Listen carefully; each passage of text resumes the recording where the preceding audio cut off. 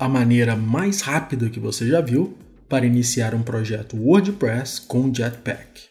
Efeito de digitação de texto com apenas 400 bytes e uma biblioteca JavaScript para usar gamepads e controles diretamente pelo browser. Tudo isso agora no DPW Expo. Jurassic Ninja, inclusive o próprio domínio é esse mesmo, Jurassic Ninja, permite iniciar um WordPress com Jetpack com apenas um clique. Então, vamos clicar. Aqui eu vou dar um cortezinho no vídeo porque ele demora um pouquinho e já já voltamos com ele totalmente funcional. Dois mil anos depois. E aí está, depois de uns dois, três minutinhos esperando, o WordPress com Jetpack já está pronto. Vamos clicar aqui e dar uma olhadinha em como ficou. Ele mostra aqui o Jurassic Ninja qual é o endereço para você acessar esse site e avisa que ele será destruído em 7 dias, a não ser que você saia e logue novamente para ter aí 7 dias a mais.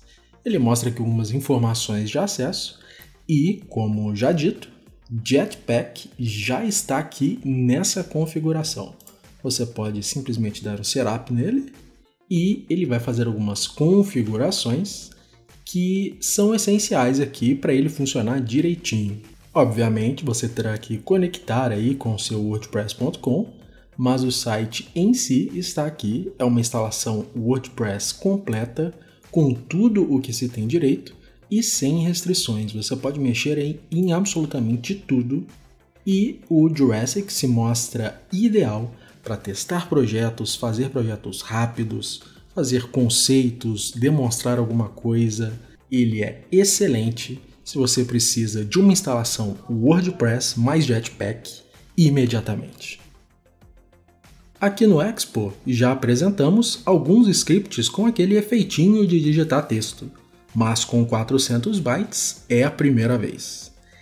Esse script não tem dependências, tem suporte a emoji, delete, pause, looping, espera, enfim. Ele é um script bem legal, bem levinho. Vamos dar uma olhada no demo aqui. Vamos ver se é verdade, né? Ele mostrou uma imagem ali, mas pode não ser verdade. Vamos dar uma olhadinha aqui.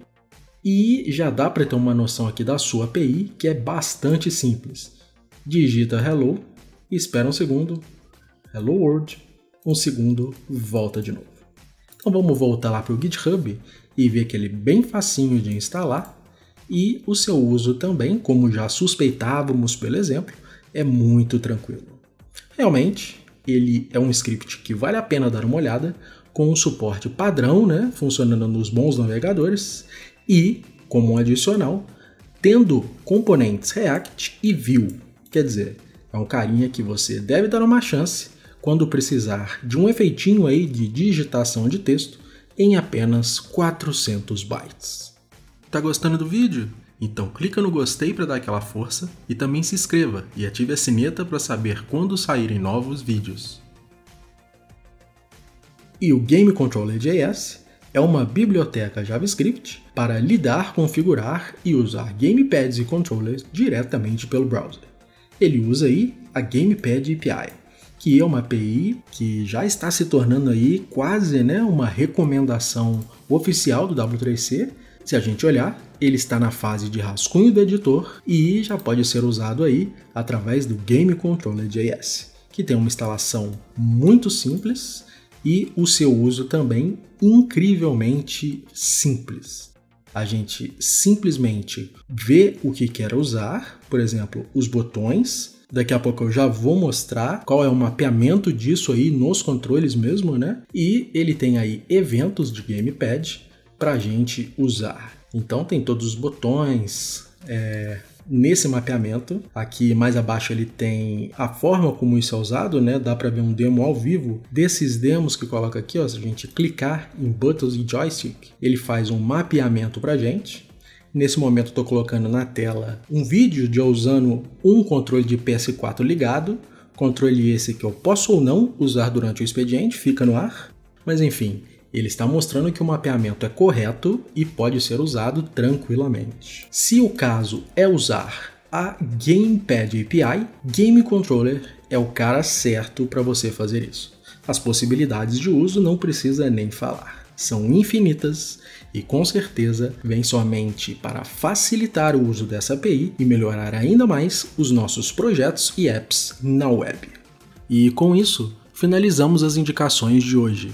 Nos vemos no próximo DPW Expo.